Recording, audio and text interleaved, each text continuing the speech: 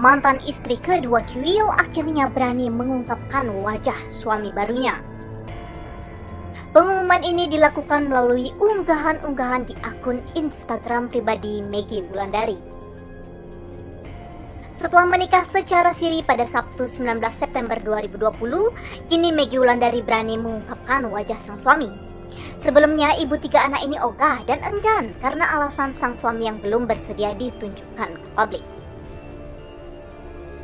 Namun kini Maggie Wulandari tampaknya sudah mau buka-bukaan memperlihatkan wajah suami ke hadapan publik. Tidak hanya satu, namun Maggie langsung memamerkan beberapa foto suaminya di akun Instagram pribadinya.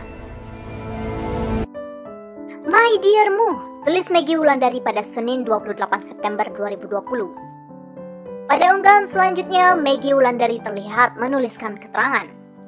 Kak Sinta, kemarin kakak jadi nyamuk di honeymoon pertamaku. Sekarang ada izin ya honeymoon kedua berduaan aja. Jangan jadi satpam lagi ya kak. Pasti nanti kamu akan merindukan adikmu ini yang bawel. Tulis Maggie Wulandari. Unggahan Maggie Wulandari tersebut pun ramai mendapat komentar dari warganet. Tak sedikit warganet yang menuliskan tanggapan dan menyebut suami baru Maggie Wulandari mirip sang mantan Kiwil. Mohon maaf mbak, kaget saya lihatnya. Saya pikir sekarang carinya beda. Taunya mirip juga tipenya, setipe wajah. Padahal mbak cantik loh. Mohon maaf, masa sih nggak bisa sama yang agak cakepan dikit begitu? Karena kalau buat saya cari suami harus yang agak cakepan. Soalnya setiap hari sama kita, kalau jelek gimana ya? Males banget. Maaf ya mbak. Tulis seorang netizen julid. Gantengan Kiwil, kirain levelnya naikkan sedikit. Ternyata kayaknya Kiwil biasa aja liatnya kalau lakinya model begini. Maaf loh Mbak Meg. Seleranya masih sama. Waktu di Blur ekspektasinya keren kece ya, lebih dari yang kemarin lah ya kan. Ternyata memang selera Mbak Meggy sederhana dan pas-pasan.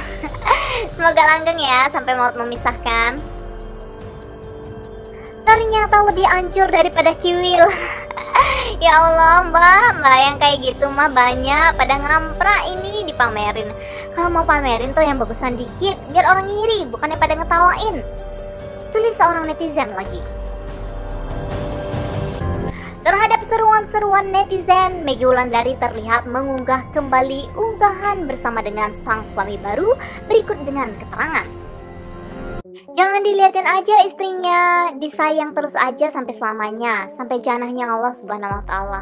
Apa pun omongan jelek orang-orang tentang saya, aku nggak pikirin. Tapi kalau orang-orang hina suamiku dan anak-anakku, oh no no, urusannya akan panjang sama saya karena ada undang-undang ITE. Tulis Maggie Wulandari tegas.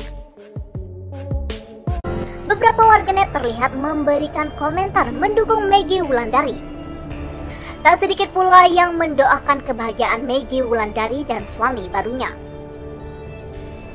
Heran sama netizen, kemarin minta-minta lihat wajah suami baru Mbak Maggie. Begitu diliatin, eh dikatain 11-12 sama Kiwil. Maunya apa sih? Serius gue nanya. Untuk Mbak Maggie, semoga samawa. Tulis seorang netizen. Selamat ya Mbak Megi, gak apa-apa Mbak, mau dibilang mirip mantan kek, mirip apa kek, yang penting suami kita laki-laki, laki-laki tulen, and bukan laki orang, bertanggung jawab, soleh, menerima Mbak Megi dan anak-anak sepenuh hati. Semoga jodoh dunia akhirat dan samawa ya, amin. Aduh, ya Allah, jangan gibah di sini. Kasihan Mbak Megi. Masih ditutupi aja kalian penasaran mau tahu. Katanya harus terang-terangan. Giliran udah di post, masih saja ada yang bully. Jangan lihat dari penampilannya dong. Orang susel kebanyakan gak mau tampak mewah-mewah penampilannya. Intinya jangan suson. Salam kenal Mbak Megi dari Turki. Saya mah yakin pengusaha ini. Semawa ya mbaknya. Belum pernah komen saya tuh, baru sekali ini. Abis gemes. Penampilan gak penting, yang penting tabungan di bank say. Yang julid and nyinyir gak pernah berteman sama pengusaha seberang nih. Kayak mereka emang begitu, tapi duitnya hmm, banyak. Terus baik, orangnya hehehe daripada yang banyak gaya tapi nggak ada duitnya omdo aja Ya, memang beberapa netizen terlihat mengomentari penampilan suami baru Maggie Wulandari yang terlihat sederhana. Maggie Wulandari pun tak tinggal diam. Ia terlihat memberikan balasan terhadap komentar netizen yang mengomentari penampilan sang suami. Saya sayang suami bukan karena dia siapa dan apa. Jadi orang mau omong apa saya nggak pedulikan. Kita doakan saja mereka. Nanti di akhirat nggak kejar-kejar. Saya minta maaf karena sudah banyak suudson dan fitnah. Menghina makhluk Allah. Kalau mau katain saya apa pun silakan. Tapi tidak hina suami dan anak-anak saya. Juga keluarga saya. Kita peringati aja netizen. Ada undang-undang ITE kan? Salam untuk warga Bone dari penduduk barunya. Ya namanya juga netizen pasti memiliki komentarnya sendiri-sendiri. Ada yang positif, tapi tak jarang juga ada yang negatif.